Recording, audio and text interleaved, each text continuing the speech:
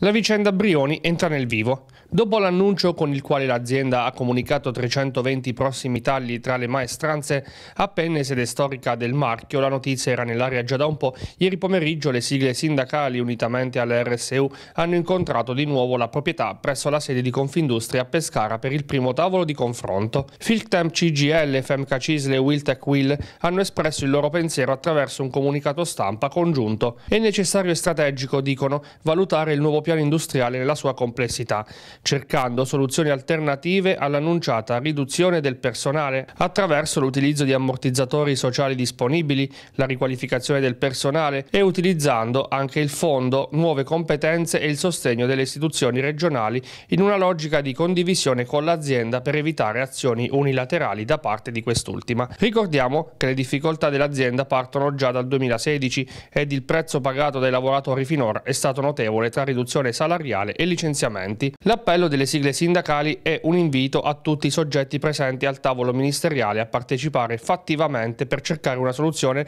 che impatti il meno possibile sui dipendenti e di conseguenza su tutto il territorio vestino. Sulla vicenda è intervenuta anche la Regione Abruzzo tramite l'assessore con delega alle politiche del lavoro Pietro Quaresimale. La Regione è pronta a fare la sua parte nell'avvertenza Brioni. Ero presente al tavolo promosso dal Ministero dello Sviluppo Economico ed ho potuto verificare dalla viva voce dei vertici la linea che intende adottare il marchio di alta moda sul fronte della produzione. È ancora presto per fare valutazioni sullo stato dell'avvertenza, anche se la nota ufficiale dell'azienda conferma il taglio occupazionale. Metteremo in campo ogni azione necessaria, conclude l'assessore, e siamo pronti ad attivare iniziative istituzionali che siano in grado di farci capire quali possibilità possibilità di negoziazione ci sono con l'azienda.